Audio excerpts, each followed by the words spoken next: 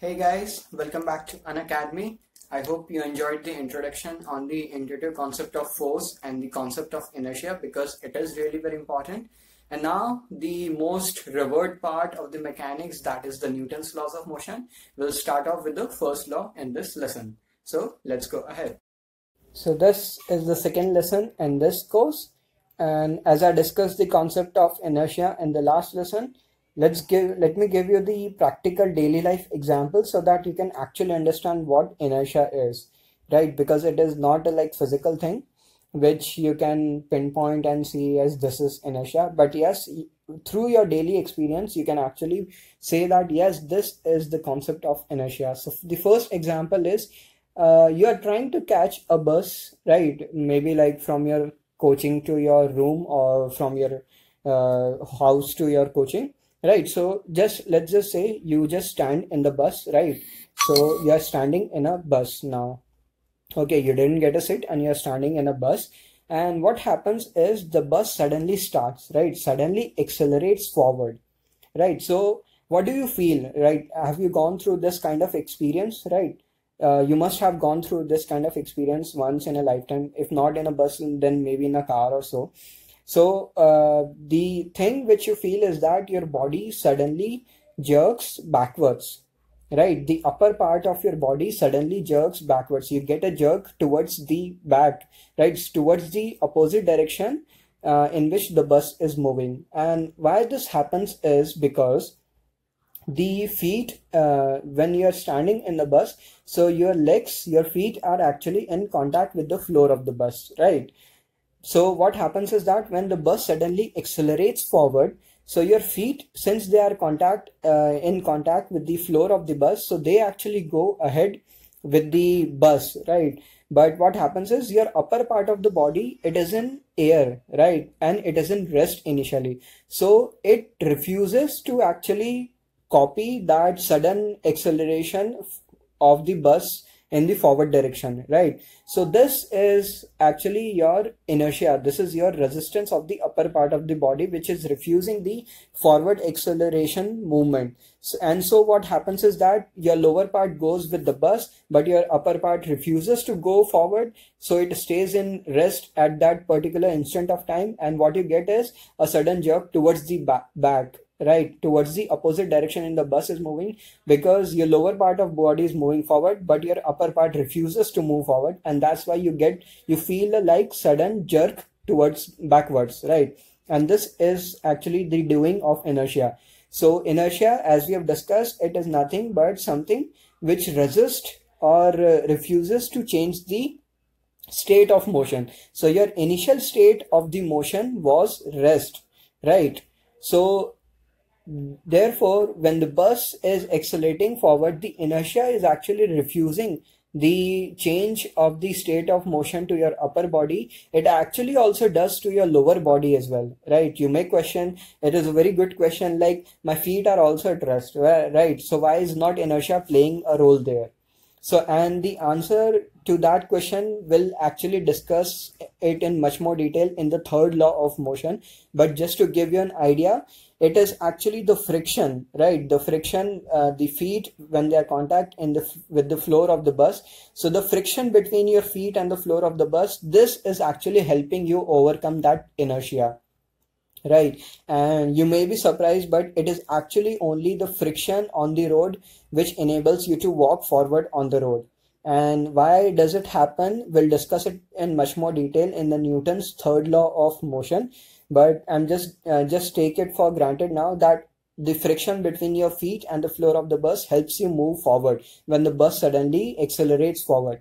But there is nothing of this sort of friction like between the bus and your upper body right? And so the inertia comes into picture and your upper body refuses to move. And so that's why you feel a jerk backwards right? And so i hope this example was clear. Uh, just leave the part of like how friction helps you. We'll discuss it in the third law but i hope the otherwise the example was clear because at least in one point of your life you would have experienced this kind of situation. The second example is like jumping out of the running train right? So it is of course not recommended to do so.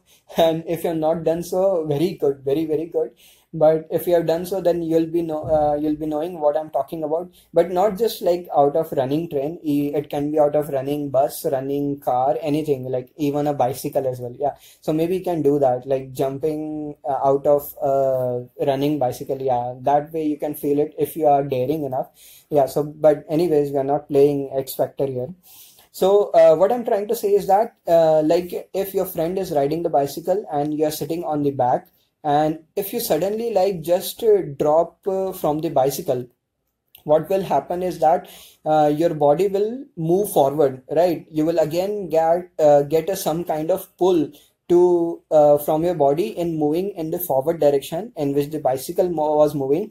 And since you are not able to control yourselves what happen is that you fall forwards right? So you topple forwards and then you fall and then of course you injure yourself right? So yeah uh, advise disclaimer uh, not to do such kind of activity just for fun sake.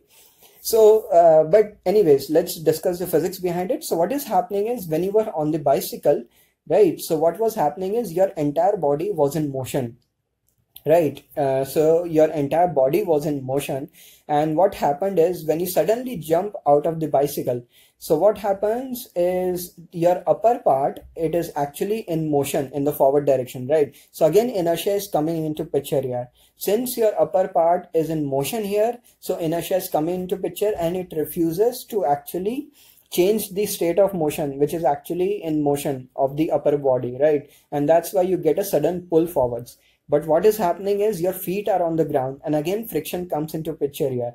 So what does this do is that friction actually stops your motion right? It opposes the motion. So your feet suddenly comes to rest.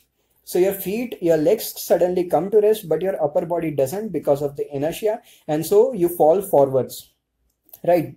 So uh, the next time you have to do it not just for fun sake but in case of emergency.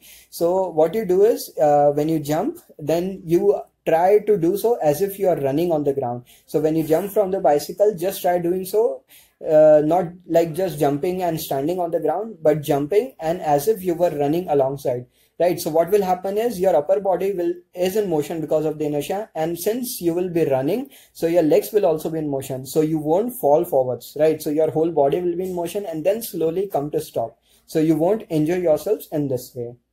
And of course again the third example is going upwards on an escalator. So right um, you must have gone to a shopping mall one mall or the other and you must have faced an escalator there right so uh, you can do this pretty safely, right? If you just put one, uh, if you just put your one foot on the escalator, right, and you keep one on the ground, right? So again, you may have experienced this. You get a sudden kind of jerk uh, backwards, and this is the same scenario as this one because your upper body is in rest, but suddenly you want to now let your lower body come into motion, right? So the inertia opposes the motion of the upper body, the change in the motion and the change in the state of motion of your upper body, but your lower body is in motion and that's why you again get a jerk. Right. So I hope the examples were clear. And now let's go ahead. So this is like, this is what Newton's first law of motion says as well. So Newton actually built on the Galileo's law of inertia. And this is what uh, the statement of the first law is. So every body continues to be in its state of rest or of uniform motion.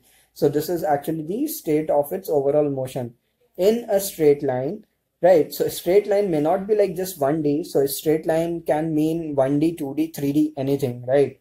Uh, we have seen this in motion in 1D and motion in a plane, of course, unless compelled by some external force to act otherwise.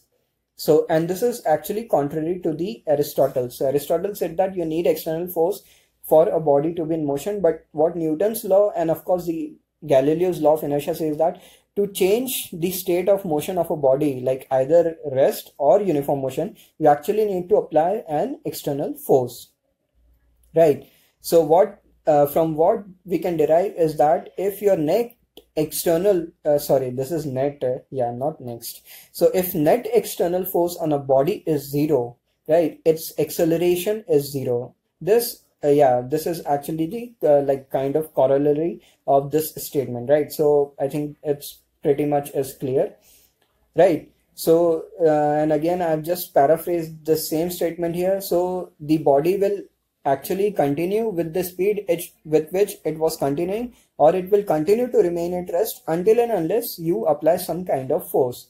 Right so now you can actually relate that yes when you apply force you apply acceleration and you if you apply acceleration you change the velocity or uh, uh, velocity and speed right? So until and unless you apply force thereby giving some acceleration you are not going to change the velocity or the speed and that speed or velocity can also be zero right so only if you apply some external force you are going to change the state of motion that is rest or uniform motion of the body. Right to again discuss things like uh, just uh, in your own room like uh, if you can example a brick on the floor of your room and of course this is your uh, fan on the ceiling right? So now what is happening is of course we know that now gravity is one of the things we have discussed uh, much many times right? Even in projectile motion and just an example in the previous lesson. So gravity will always apply force right? Will always apply some kind of pull. But this brick actually can't like dig into the ground by itself. Yeah. So the brick will remain here but somewhere gravity is being applied right and of course if you switch on your fan then there's some air pressure also applied on the brake right? So air is moving and air has mass right? Of course the three states of matter. So air does have some mass and since it is moving air so it is applying some kind of pressure or some kind of force on this brake right? But the brake no matter how hard you stare at it it will not move in motion right? It will not come in motion unless you are a magician. And yeah but the brick will continue to remain at rest right? So you can actually identify like many types of forces already being applied on this brick right? So there's some force applied by the air moving air. There's some sort of force applied by the gravity. And god knows like how many other external forces as well. We are only talking about the external force not the internal force like between atom and atom and molecule and molecule like we discussed in the physical world various types of forces right? So we are only discussing about the external forces so it means that if your brick still continues to remain at rest, that means that though so many forces are being applied and in various directions, God knows how many, but that means that all those forces are eventually cancelling out each other, right? Because that is the only scenario where the brick will continue to remain at rest. If somehow the forces were not cancelling themselves out each other, and if there was some net external force remaining, then this brick would have moved somewhere. It would have uh, started its motion right? So this is the uh, this is the direct conclusion of the newton's law of motion that we may not know all kinds of forces being applied on an object in rest or in uniform velocity right? So both the cases remember not just rest but also the uniform velocity case.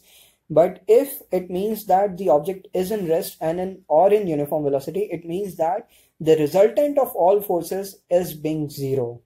This is a very important and a very powerful concept being derived from the Newton's first law, which we will use in solving a lot of questions afterwards, right? So uh, I hope this concept was clear and I'll see you in the next lesson.